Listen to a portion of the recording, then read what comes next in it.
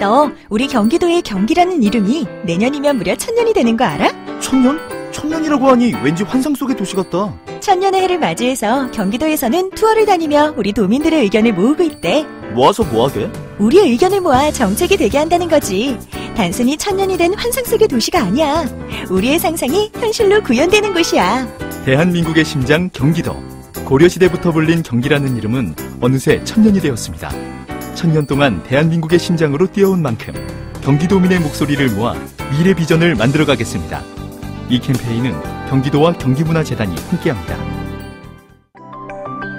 한 해를 마무리하는 연말입니다. 저희 이사자키에서 올해의 사건, 그 당사자분들을 모시고 한 해를 정리해보는 시간, 네, 2017년의 사람들 좀 가져보려고 합니다. 오늘 그 첫 시간인데요. 그 주인공분들은 바로 성주의 소성리 할머님들이십니다. 작년 7월 성주에 사드 배치가 확정된 이후에 이 소성리 주민분들 1년 넘게 사드 철회 투쟁을 지금 이어가고 계시죠. 이분들이 오늘 아주 특별한 상을 받게 되셨다고 해요. 성유보 특별상인데요. 그래서 스튜디오에 직접 좀 초대했습니다. 소성리 할머님 두 분 모셨는데요. 부녀회장 임순분 회장님 안녕하세요. 어서 오십시오. 네, 안녕하세요. 네. 그리고 도경임 할머님 예, 안녕하세요. 어서 오십시오. 예. 성유보 특별상 타러 오늘 기차 타고 올라오신 거죠? 예. 몇 시에 출발하셨어요? 11시 반에 출발했습니다. 힘드셨- 오전 11시 반. 힘드셨겠네요. 이 성유보 특별상이 어떤 상인지 아세요? 그 민주 언론인 상이라고 들어서 알고 있습니다. 예, 네, 예. 예. 성유보 선생이 음. 이 1967년에 동아일보 기자가 되셨던 분인데 네. 74년 그 박정희 정권 때 해직당하시고 음. 그 후에 이제 민주언론 운동을 쭉 하셨고 나중에 한겨레 신문에도 또 계셨고 근데 자꾸 하셨어요. 음, 그래서 네. 몇년 전에 이 성유보 특별상을 만들었는데 소성리 주민분들이 이번에 상을 타시게 된 겁니다. 네, 네. 그 상 탄다는 소식 언제 들으셨어요? 어, 3일 전에 들었습니다. 그 소식 듣고 어떠셨어요, 기분이? 굉장히 어떨떨했고 그 처음 저는 이 이 분에 대해서 솔직히 잘 알지를 못했고 예, 나중에 왜 우리가 이 상을 받아야 되는지 음. 이분이 어떤 분이신지를 나중에 이렇게 접해서 이제 알고 깜짝 놀랐습니다. 네, 네. 네. 그상 왜 준다고 하던가요? 온몸을 던져서 음, 한반도 평화통일에 기여했다. 어, 뭐, 국민적 생존, 생존권과 민주주의 헌법적 가치를 알리는데, 네. 헌신적으로 네. 임했다, 뭐, 이러면서 네. 이렇게 주신 걸로 저는 그렇게 알고 있습니다. 네. 도경임 할머님 지금 연세가 어떻게 되시죠? 78. 76, 여덟. 78. 예. 거의 80 가까우시는데 네. 지금 70년 넘게 살아오시면서 내가 이런 상 탈이라고 생각해 보셨어요? 안 해봤지. 꿈에도 안 생각해봤지. 그 이런 상 탄다니까 어떠세요, 기분이? 아이고, 뭐도 뭐, 많이 도와줘서 고맙습니다. 네. 감사합니다. 네. 작년 7월에 성주에 사드 기지가 온다더라 하는 소식 예. 처음 들으셨잖아요. 예. 그 소식 처음 들을 때 느낌이 어떠셨어요? 쎄- 싸도 이 얘기도 못 들었다가, 예. 뭐참 날벼락 맞은 기분이지. 날벼락. 사드가 뭔지도 모르셨죠? 예. 그러다가 이제 아니 뭐 이상한 게 온대 그래서 그 마을 주민들이 어떻게 어떻게들 모여서 어떤, 어떤 얘기 시작하신 거예요? 처음에는 저희 소성리가 아니고, 어, 성주읍의 성산포대로 네. 결정이 났을 때, 어, 성주에 이 사드가 온다라고 했을 때, 처음 한 2, 3일은 저희들 이 사드를 몰라서, 음. 어, 이게 사드라는 게 무엇인데 이렇게 많은 국민들이 반대를 할까 하고 이제 언론을 통해서 알고 또 많은 분들한테 사드 얘기를 들으면서 예. 그때서 이제 주민들이 어, 어 우리 말이 아니어도 예. 이 한반도 땅에 저런 무기가 들어와서는 안 된다라고 생각을 하면서 성주 촛불에 예. 저희들이 근 1년여를 성주 촛불로 나갔습니다. 네, 네. 그 이후 어, 사드가 소송리로 4월 26일 날 이렇게 들어오게 된 거죠. 네, 네. 솔직하게 얘기해 보세요. 맨 처음에는 아니 우리 동네만 아니고 좀 딴 데로 가라 그런 생각이셨죠. 맨 처음에 그랬습니다. 솔직히 맨 처- 그러셨죠? 맨 처음에는 예, 왜 하필 사드가 우리 동네냐. 그러니까. 어, 인구가 적다고 예. 어르신들만 사는 동네라서 들어오는 거냐 이렇게 반발을 했는데 네. 이후 저희 주민들 생각이 달라지기 시작하면서 음, 이 땅 어디에도 안 된다.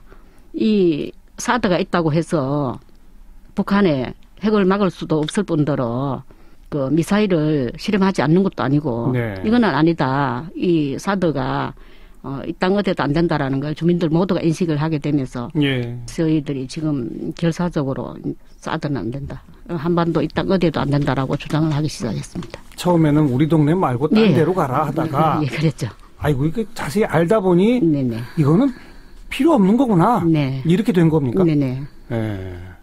그 투쟁하시는 과정에서 많은 분들 다치고 막 그랬잖아요. 네. 우리 부녀회장님이나 도병님 할머니 어디 다치신 데 없으셨어요? 뭐 허리하고 조금 다치지 팔하고 예. 허리하고 몸싸움 하면서 허리하고 팔? 예 팔도 또 막 밀고 이칼면서 경찰들하고 어, 어. 그 병원에까지 가셨어요? 예 안내원에도 가고 뭐 저는 그 4월 26일 날 그 이전에 사드로 인해서 공무원들하고 몸싸움 하다가 네. 이 다친 팔이 지금도 이 팔을 제대로 못 쓰고 있습니다. 아이고. 왼쪽 팔을 못 쓰고 있고 4월 26일 날 들어오던 날 당일 날 경찰한테 이렇게 폭행을 당해서 음, 제가 앞니빨이 이렇게 부러지는 상황이 저런. 되었고 네. 기절까지 해서 119에 실려서 병원을 가기도 하고 아이고. 그때 상황이 근데 지금 저뿐만 아니라 많은 분들이 다쳤습니다. 그러니까요. 주민들 네. 한번 이렇게 싸도 들어올 때마다 몇십 명씩 이렇게 다치고 음, 지난번 또 공사 장비 들어올 때도 많은 주민들이 다쳤습니다. 네, 네. 그 우리 부녀회장님은 자제분이 어떻게 되세요? 세 명입니다. 다 지금 타지에 가기 있죠. 네. 어디들 삽니까? 가까운 구미에도 살고 대구에도 살고 있습니다. 네. 그 자제분들이 어머님 걱정돼서 어떻게 해요? 걱정하죠. 어, 한두 번 다쳤을 때는 괜찮은데 네. 너무 심하게 다쳐서 병원을 이렇게 실려가고 이러니까 제발 다치지만 말라고 음. 그리고 제발 엄마가 맨 앞에는 안 섰으면 좋겠다고 네. 음, 그렇게 그런 얘기들 많이 하면서 걱정을 하죠. 근데도 맨 앞에 쓰시죠. 음, 그 분야회장이기 이전에 또 제가 또 마을에서는 굉장히 젊은 층에 들어가는데 그렇죠. 예. 그 할머님들이 이렇게 연로하신 분들이 앞장서서 하시는데 그 네. 젊은 사람들이 그냥 뒤에 있을 수는 없죠. 예, 네. 저희가 앞장을 서야죠. 도병임 할머님은 자제분이 어떻게 되세요? 우리도 너입니다. 네 명. 예 다 타지에 살고 구미에 둘 살고 대구 둘 살고 뭐라 그럽니까 어머니한테 어, 항상 조심하고 조금 앞에 나가지 말고 뒤에 서서 하라까지 하지 다- 말라고 뭐다- 이제 그만하라는 얘기는 안 합니까? 아, 안 하지 안 하죠. 아, 우리가 여 평생을 그 살았는데 네. 국하지는 뭐하지 땅이 다그 있고 하는데 음. 작년에는 이제 박근혜 정권 때였잖아요. 네, 네. 그러다가 이 최순실 게이트, 뭐 최순실 사태 막 터지고 그랬잖아요. 네.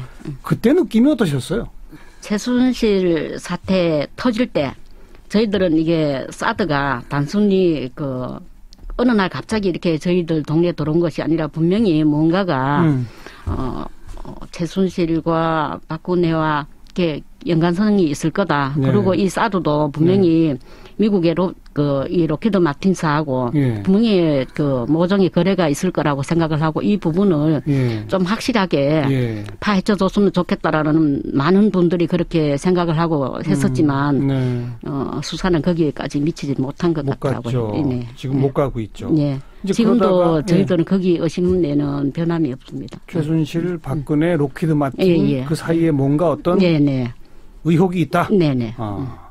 근데 아무튼 그런 사태가 터지고 서울 중심으로 대도시에서 촛불 집회 막 계속 터지고 네. 그러다 박근혜 대통령이 탄핵됐잖아요. 네. 그러니까 쫓겨난 거지 않습니까? 네, 네. 파면. 예. 그때 기분은 어떠셨어요?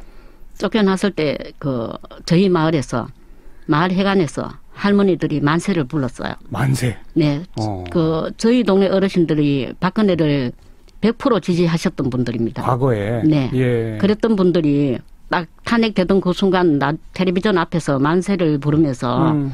이제 사드가 뽑혀나가겠구나 끝나겠구나 네. 네. 예 그런 기대감을 가졌었습니다. 도경임 할머님도 박근혜 찍었었죠? 예, 그죠? 예, 근데 쫓겨나니까 기분 좋으셨어요?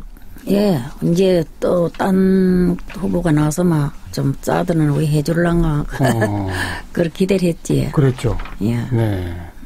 그리고 이제 대통령 선거를 빨리 했어요. 5월 달에. 네, 네, 문재인 대통령이 됐습니다. 네, 솔직히 사드 안 올, 저, 도로 가져갈 줄 알았죠. 네. 문재인 후보가 후보 시절에 그 차기 정권에 넘겨라 사드 문제는 음. 이렇게 계속 주장해 왔었고 문재인 대통령이 후보가 몸담고 있는 민주당에서 국회의원들이 늘상 우리 대통령이 보관이 있다. 네. 당선이 되는 그 순간 바로 사드 문제를 해결할 것이라고 많은 국회의원들이 저희 말에 와서 그렇게 얘기를 하고 갔었어요. 그래요. 네. 그런데 근데 사드가 정작 들어오고 나서는 예. 한 번도 찾아오지 않았고 예. 대통령이 당선된 이후에 국회의원들이 아무도 오지 않았고 아이고. 그 이후 7월 달, 9월 달에 들어온 사드는 더 무차, 무자, 무참히, 무자비하게 저희 그러니까요. 주민들을 짓밟고 들어왔습니다. 처음에는 두 기만 했다가 네, 네 나머지. 네 기를 그냥 다 기습 배치한 겁니다. 네, 네? 네. 그때 주민들 배치. 제일 많이 다쳤고. 많이 다쳤습니다. 그죠? 네. 문재인 대통령 되면은 사드 도로 가져갈 줄 알았는데 네. 또 해결한다고 국회의원들이 계속 왔었는데 네. 당선된 후에는 한 명도 안 왔다고요? 안 왔습니다. 정말요? 예. 어. 그리고 전부 그 한 번도 안 할 뿐만 아니고 지금은 그 주민들 오히려 해유하는 음. 예. 뭐 행자부 장관이라든지 주민들에 대해서는 최대한 배려를 하겠다. 네. 보상을 충분히 하겠다. 예, 예. 이런 얘기를 하면서 오히려 주민들 간에 이간질을 시키면서 음. 그런 역할들을 하고 있지 실제로 우리 주민들이 무엇을 요구하고 있는지 어떻게 사드 반대를 하고 있는지 정작 현장에서의 목소리는 한 번도 담아간 적이 없습니다. 네. 보상해 주겠다. 돈 충분히 줄 테니 이제 그만해라. 결국 아. 그거군요. 아니에요. 그럼요. 실제로 돈 얘기가 아니라 이분들이 얘기하기는 일- 마치 다른 분들이 들었을 때 어, 소송이 주민들한테 돈으로 무엇을 보상해 주는 것처럼 이렇게 들렸는데 그게 아니고 예. 성주군에 이렇게 어떤 사업을 주겠다는 아, 것을 아. 소송이 주민들과 충분히 대화를 했다. 충분히 그 보상을 하겠다. 이렇게 음. 묘하게 이렇게 흘리는 거예요. 네. 그말 듣고 다른 주민들 가운데 아 이제 그만하자 이런 분들도 생깁니까? 저희 마을 주민들은 그런 분들이 안 생기고요. 소송 일은 없는데 없어요. 예. 그 다른 밖에 있는 분들이 성주 국민들 분들이 가운데. 국민들 아. 가운데서는 사업을 준다 하고 뭐 음. 뭐 전철을 놔준다 하고 이런 게 하니까 예, 예. 찬성하는 분들이 있었죠. 그렇죠. 네네. 그 지금 솔직히 문재인 대통령에 대해서 막 섭섭하고 서운하고 그러시겠네. 서운하죠. 우리가 뭐 사드 그 해주려고 해서 사전 투표까지 했잖아요. 미리. 아하하. 아이고. 다 가서 사전 투표로 예. 찍어줬는데 예. 한마디 하세요 대통령한테. 문재인 대통령이 섭섭합니다. 소송에 하면 뭐 오시든지 해야지 사드를 어찌든지 물리쳐 주이소. 그 분회장님도 한마디 하세요. 우리가 그 촛불을 들어서 그 대통령을 만들었지 않습니까? 처음에 어 생각을 갖고 있던 어 촛불 대통령으로서의 그 당당함을 음. 잊지 말고 앞으로도 소신껏 좀 해 나가시고 네. 미국에게도 정말로 이 우리 한국의 입장을 제대로 잘 전달해서 이 사드가 어 도로 미국으로 돌아갈 수 있도록 예, 예. 이렇게 좀 애써 주십시오. 예. 지금도 그 기지로 공사 차량들 계속 들락날락 거립니까? 네. 들락날락 거릴 때 계속 막으세요? 아니면 지금은 맞고 세 있습니다. 번마다 맡고 있지. 매일 매일? 예. 어, 21일 날, 그, 11월 21일 날 공사 차량이 65 대인가 이렇게 들어갔어요. 예. 가던 날 주민들 150명이 모여서 그 앞 길을 막았는데 경찰 5천 명이 또 무자비하게 저희들을 짓밟고 들어갔지 않습니까? 그렇죠. 예. 그때 한 3, 40명의 주민들이 다쳤습니다. 예, 예. 음, 갈비 뼈 부러지고 다리 골절, 뭐 손가락 골절, 이렇게 모르기 이렇게 다치신 분 이렇게 많은 분들이 나왔는데 음. 그리고 나서 12월 달 들어서면서 공사 인부들이 네. 또 매일 이렇게 새벽에 들어가려고 시도를 해요. 예. 그럼 저희들이 할 수 있는 방법은 인부들을 막는 수밖에 없지 않습니까? 예. 그래서 예. 매일 주민들이 새벽 4시만 되면은 음. 일어나서 그 한 20분 정도 걸어 올라가서 그 앞길을 막는데 젊은 지킴이들은 그래도 낫는데 이렇게 에, 어머님처럼 70대, 80대 이 어르신들이 그 앞을 막는데 혹여나 이 언 땅에 넘어져서 다칠까봐 걱정도 되고 그렇죠. 예, 이렇게 오히려 경찰들이 지금은 할머니 때문에 선뜻 손은 못쓸 정도로 어. 예, 저희들이 아주 막못 그렇게 새벽마다. 막으시면 결국 네. 그래서 공사인분은 못 들어갑니까? 들어가 지금까지 못 들어가고 계속 못 있습니다. 들어가고 네, 있어요? 네, 그러니까 그 11월 21일 날 큰 부상 사태가 벌어진 이후에 네. 네. 경찰들도 좀 지금은 조심은 하는군요. 예, 신경은 좀 쓰죠 아무래도. 아. 그리고 일부 보도를 보면 이렇게 시간이 자꾸 가고 이 두 기였다가 네 기도 마저 다 들어가고 음. 막 이렇게 되고 나니까 이 반대 집회에 모이시는 사람들의 숫자가 점점 줄어든다고 그러던데. 네네. 줄기는 좀 줄었습니다. 아무래도 그렇죠. 줄기는 좀 줄었지만 예, 저희들 그 소성이라는 영화가 그 부산국제영화제에서 출품도 되었고 예, 예. 많은 호평을 받으면서 예. 지금 전국적으로 많이 알려지고 있어요. 예. 이 영화들을 보신 분들이 어. 지금 소송리를 찾아와 주고 있고 아, 그래요? 예, 어제 같은 경우도 제가 어제 말 그저께 인천에서 했는데 인천에서 그 영화를 보신 분이 음. 지킴이로 어제 저희 소송리 마을을 찾아오셨어요. 두 분이. 아, 새롭게 영화 네, 보고 새롭게 오시- 찾아오시는 예, 예, 이렇게 오시고 계시고 네. 어, 이렇게 줄어들긴 했지만 많은 분들이 그래도 어, 새로 다시 이렇게 연대를 해주시고. 관심을 갖고 찾아와주고 예. 저희들과 함께 하고 있습니다. 예, 예. 계속 투쟁하실 거죠?